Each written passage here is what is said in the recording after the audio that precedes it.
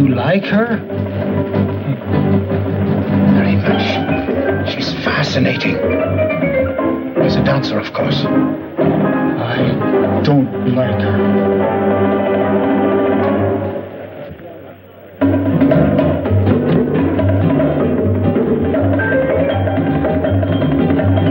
Woman is evil. Tell me. Tell me what's wrong. Not now, ma'am. Don't talk.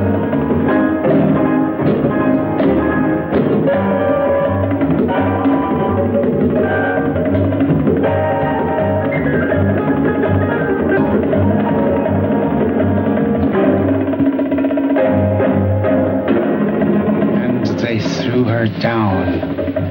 And her blood was sprinkled on the wall. And he trod her underfoot.